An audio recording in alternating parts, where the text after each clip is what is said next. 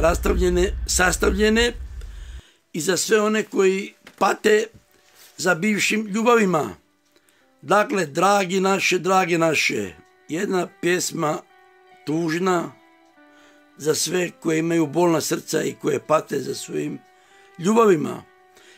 Pesma se zove Isplaći se i bit će ti lakše. Ispričaj mi, bit će ti lakše,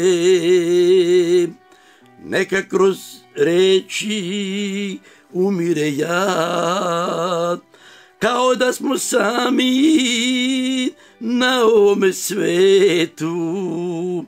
Tebi treba uteha sad, kao da smo sami na ovome svetu.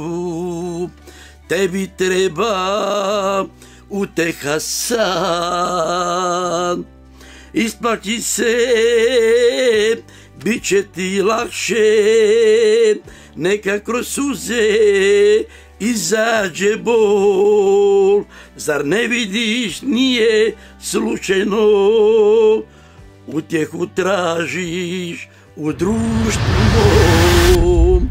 Isplaći se i bit će ti lakše, neka kroz suze izađe bol.